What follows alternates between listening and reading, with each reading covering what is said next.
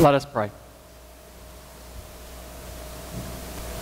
Holy God, may the words of my mouth and the meditations of our heart be pleasing and acceptable to you, O Lord, our rock and our Redeemer. Amen.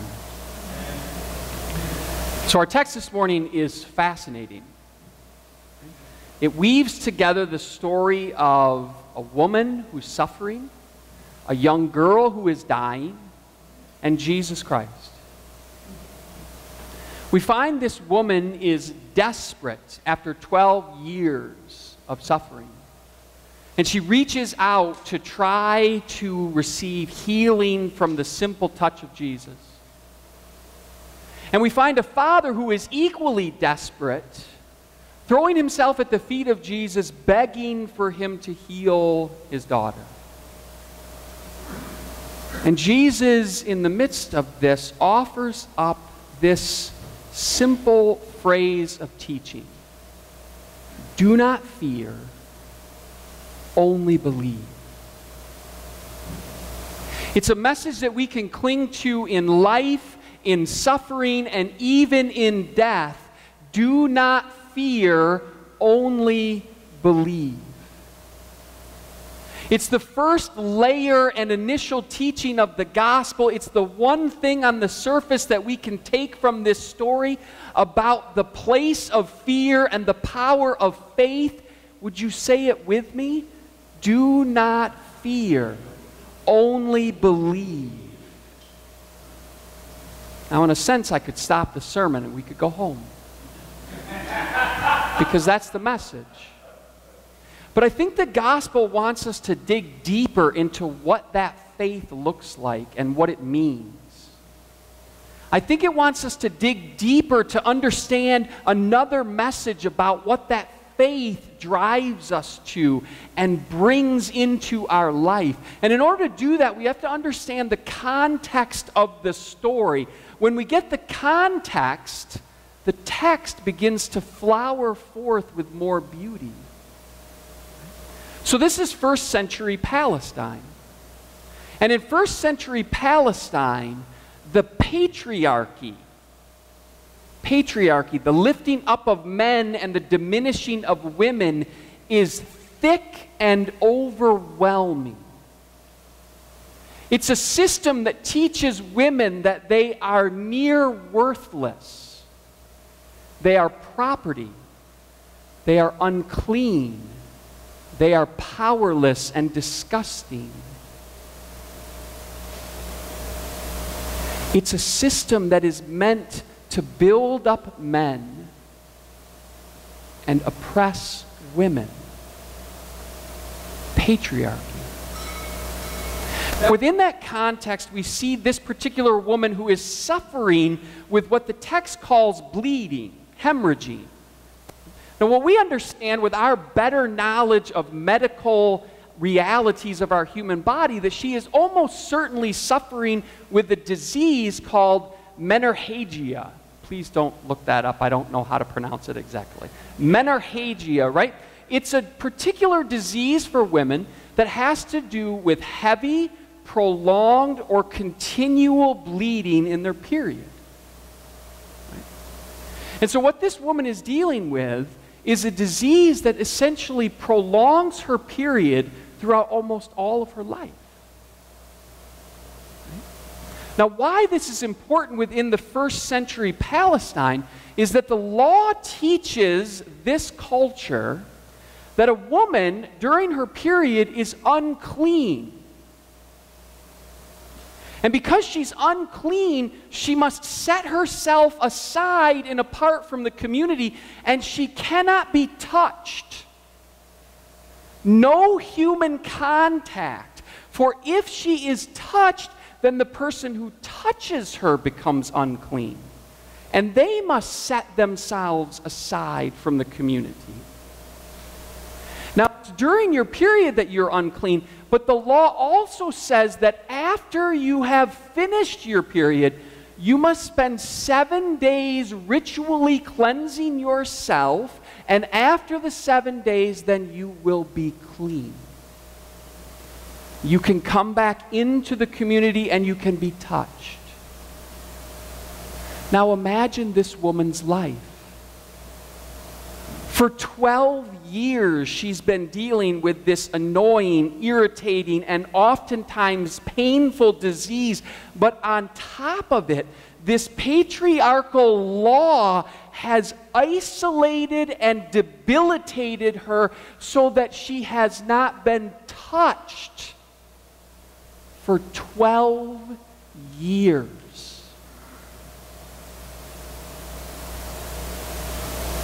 Do you have a better sense of the kind of suffering that she's going through?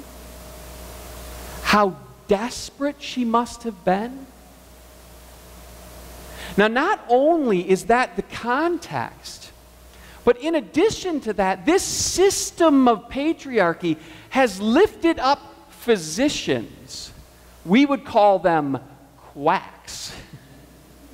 who are selling snake oil to the desperate because she just wants to be in the community.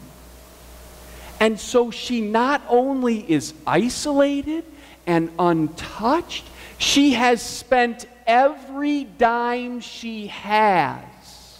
And so now she's thrust into poverty. All because a system says that this disease she never chose or never did anything to do of her own has labeled her unclean, untouchable, unfit for community. That, my brothers and sisters, is patriarchy. Now, what deeper lessons can this text begin to teach us then as we look at it and study it in light of this context? Now, when I begin to study and look at Scripture, let me give you a little clue or hint about how pastors start to read, right? I've shared with this before. We look for words, words that have impact or that jump out at us in the text. And oftentimes we're looking for words that repeat. Because when they repeat, it tells us that the author, in this case Mark, is trying to focus us on a particular place. Now, there's a set of words in this story that repeat multiple times. And the first one we're going to look at is immediately. Immediately is repeated three times in this text. And I believe that Mark is taking this word of action immediately to draw our attention to what he wants to teach us. The first time, two times that immediately is used is verse 29 and 30. Right? And so we see in verse 29 these words immediately her hemorrhage stopped. And she felt in her body that she was healed of her disease. Now, think about what this means for this woman 12 years of being untouched, of being isolated and debilitated, of being thrust into poverty, and immediately she is well. Now, think about what she had to do for that immediately to come. Right? With her faith, she needed to wage into a crowd of people and reach out and grasp Jesus and say, He will make me well. Her actions are confrontational to the system of patriarchy. She is saying with her faith, I will not be held down. I will not be held out. I will not be held back any longer. I will be well.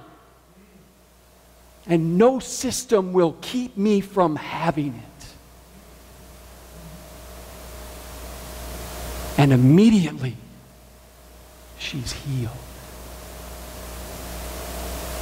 And then verse 30 comes along, and it's really interesting, right? Because the, it's, it's not enough for Mark to show us her confrontational faith against the system. he must also show us Jesus' reaction. So, immediately aware that power had gone forth from him, Jesus turned about in the crowd and said, Who touched my clothes? I want you to think about this for a minute, right? Jesus is in a crowd of people, and he knows better than all of us what has happened. He knows that someone who is unclean has been healed. He knows that this woman who has flouted all the norms, all the rules, has disregarded the teaching of Scripture to confront with faith what she wanted and needed. He knows better than anyone. And he stops and he says, I will not move until I see who has touched me. He doesn't have to do this for her to be healed. You see that, right? She's already healed. Her hemorrhage has stopped. She's well.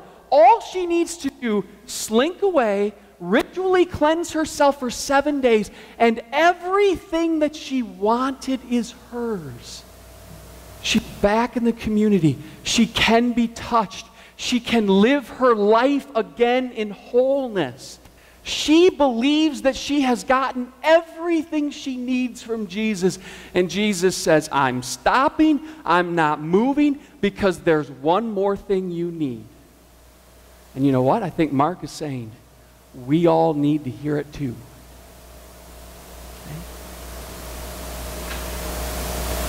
Because listen to this. What Jesus is doing is putting her life at risk. Scripture is very clear. It's very direct in what it teaches. He should chastise her. He should condemn her. He should call her out because her confrontational faith of weeding into the crowds to touch him has made everyone unclean. She has flouted the norms and the rules and the clear teaching of Scripture. Do you wonder why she finally comes forward and Mark tells us that she comes with fear and trembling? What will he say? What will he do? What will he take from the scriptures and the law and crush her with it?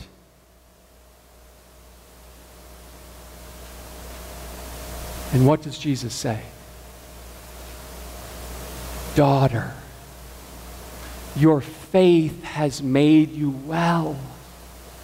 Go in peace and be healed from your disease. Now, why does Jesus need to say this? Because he wants to lift up her confrontational faith and tell her, Well done, good and faithful servant. Go in peace. She's already healed. She's already got the disease wiped out. She needs to hear that her faith, her striving against the system that would oppress her, her unwillingness to be held back, to be held out, to shut away, that is lifted up by Jesus and said, That faith, that faith has made you well. Go in peace. Now, if that were not enough, there's a third immediately, right? There's a third immediately because Jesus isn't done teaching us about the power of systems and confrontational faith that we must address to overcome them, break them apart, and destroy them. So, verse 42 says, And immediately the girl got up and began to walk about. She was 12 years of age. Now, we know this story. Jairus has come in desperation to seek healing for his daughter, who he knows is on death's door. And he's too late. Jesus is too late. And she's died. And the people say, Don't bother with Jesus anymore. She's dead. And what does Jesus say? Do not fear, only believe. What kind of belief is he asking of Jairus? Meek, quiet, calm faith? Faith that sits in the pews on Sunday and doesn't bother with the rest of the culture? Is that the kind of faith that will overcome death? No. No. He's asking Jairus to embrace a confrontational faith, a faith that says, Death, you will not have the last word. A gospel faith. You see, this young girl is suffering under the same systems of oppression that this, this older woman is suffering under. And she may be facing death, but those same systems of patriarchy live over her as well. In fact, the scriptures say that because she's sick and because she's dead, you can't touch her or you become unclean. And just like Jesus needs to offer forth a lifting up of the confrontational faith of this woman who was bleeding, he now needs to confront the system himself. And what does he do with this little girl? He reaches out and takes her hand. And he says, Get up. Now, I think that this little girl and this woman are intricately connected. And I've told you the immediatelys now, but let me show you what Mark is also doing. Mark is a brilliant author, right? How old is this young girl? How long has this woman been suffering with bleeding? Their lives are intricately connected. Their lives are speaking of one. Of the suffering of women under a system that would hold them down in isolation or in death. And Jesus says, just like I came to heal you and encourage your confrontational faith, I've come to overcome death and encourage a confrontational faith. But there's even more, right? Mark is so brilliant. There's even more, right? Jairus comes to Jesus, and who is he? He's the ruler of the synagogue, right? The ruler of the synagogue. His job is to make sure that the system continues to work and run. His job is to make sure that the patriarchy is followed. And what does he do? He comes and he falls at Jesus' feet and he says, Save my daughter. The system tells him what about his daughter? How much is she worth? She's property and she's broken. She's about to die. But what does a father do? He falls at Jesus' feet and desperately cries out for his daughter. You see, because we can have systems that try to tell us what people are worth and what their value are, is and how they belong or don't belong. But in relationships of love, when we see our daughter hurting and broken, our heart breaks and we abandon the system. What value does it have? And we fall at the feet of Jesus, and with love we say, Please save my daughter. How much was she worth to him? Yeah, infinite value. And that's the truth of a relationship of love beyond a system that tries to tell us what people are worth and who belongs and who doesn't. So, how does this connect us to the woman? What does Jesus say to her? When she finally comes forward with fear and trembling, what does he say to her? Daughter. Daughter. Your faith has made you well. Go in peace. Do you see how they're connected? Do you see what Jesus is trying to teach us about confronting systems that diminish people and lifting up love and faith and relationship because this young girl and this older woman are both daughters of God, and both deserve life and freedom and hope and to be broken out of the shackles. And so Jesus sets them both free. Now, you might be saying to yourself, well, Thank you, Pastor Rodney. What a stirring, stirring teaching. And I love to hear about how awful the first century was with their bad culture. But we don't think that way anymore, right? We know that men and women are equal, and we treasure them both equal. And patriarchy isn't a part of our culture, right? Really? Let me offer you a video this morning encourage you to just listen to it.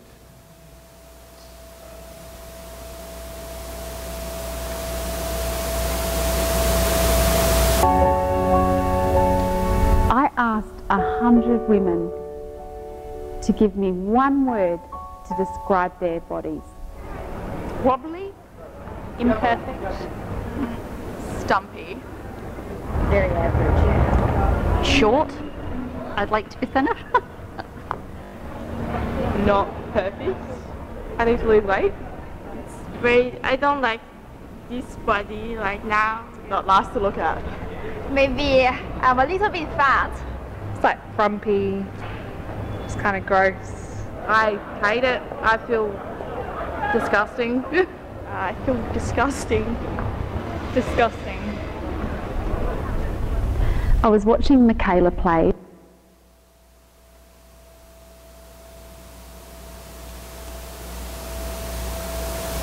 Disgusting. Disgusting.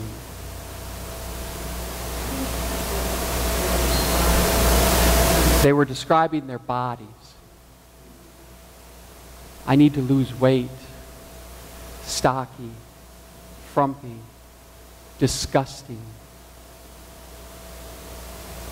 Where do women hear these messages? What system teaches our daughters that they're somehow disgusting?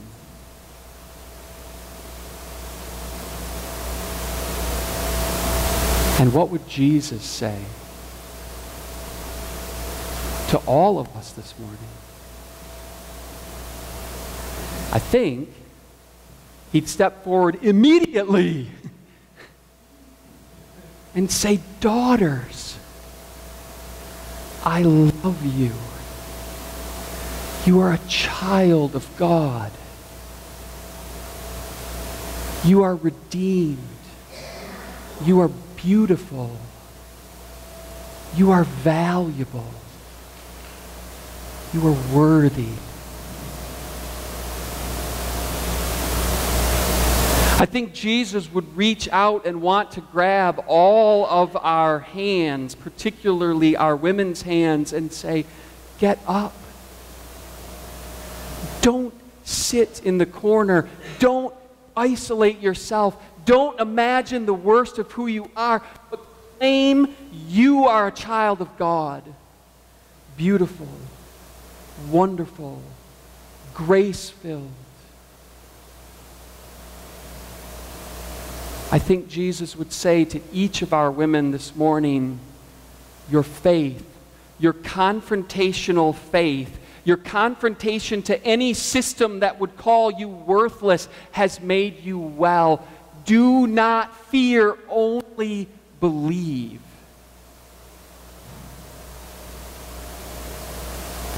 Unless we think this is just a message for our women this morning. I think that's what Jesus would leave us with from where we started. Do not fear. For you men out there, if we lift up our women, it does not mean we will be diminished. If we share power and leadership, it does not mean that we will be subjected. If we step aside from the spotlight and allow them to have the center stage, it does not mean that we're somehow less. It might just mean that we're Christ like. So when we face a system that oppresses, that demeans, that tells the vulnerable or the weak that they must be down or out or away, we must have faith. Do not fear, only believe. In the name of the Father, and the Son, and the Holy Spirit, amen. Let us pray. Holy God, you challenge us with the depth and complexity of the gospel. If what we need to hear this morning is that we should set aside our fear and simply follow Jesus with faith, then help us to receive that by the power of your Spirit. If what we need to hear this morning is that the systems that tell us that we are ugly or fat or stocky or stumpy or worthless or as good as dead, help us to set that aside and hear the message that we are children of God, daughters of God, sons of God, and that you love us deeply. If what we need to hear this morning is that we need to sit down and shut up as men so that women can step forward, then give us that word.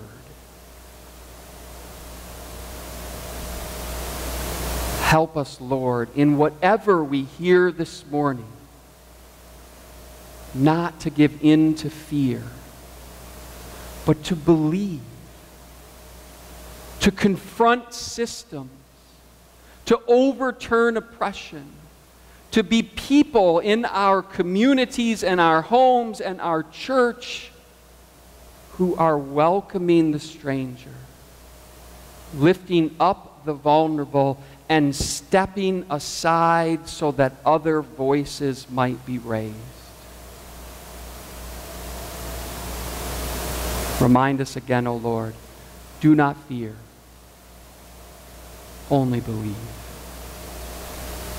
In your holy name we pray. Amen.